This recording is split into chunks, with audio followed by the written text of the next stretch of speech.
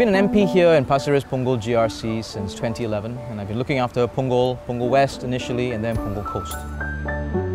Punggol is still a new town. It's growing, it's developing very rapidly. Many of the babies that I first met in 2011 now primary school, many of the school kids have already started work. Oh, just across. Okay, okay, okay. We continue to develop the town. There's lots of things that have happened over the last few years.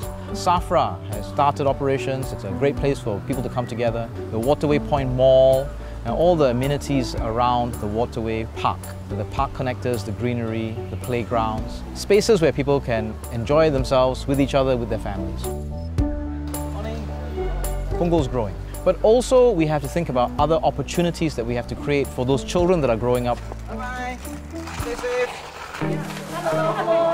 Hello, good morning. I've spent the last nine years as a Member of Parliament here in Punggol, serving the residents and helping the residents. And I want to keep doing that. Going forward, we will continue to find ways to identify those residents who need extra help.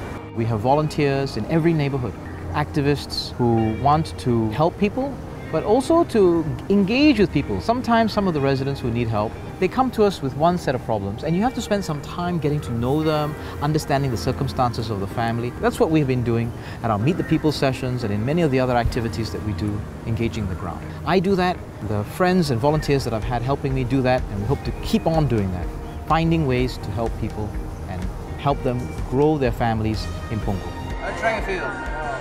I suppose one of the things that always makes my day, like, we meet a lot of kids. I mean, Punggol has a lot of children. They are very cheerful, they give you high fives. Hey, Dr. Janil, I saw you at my school, I saw you at my graduation. And I do see a lot of children, and I think they enjoy growing up here in Punggol. It's got a sense of family. Many of them have their grandparents and, or their aunties and uncles. Uh, a whole large extended family has come to Punggol. So there's a certain joyfulness about it when we meet all these children uh, enjoying the growing up in the environment that we're creating here. Uh, I like that. I like that a lot.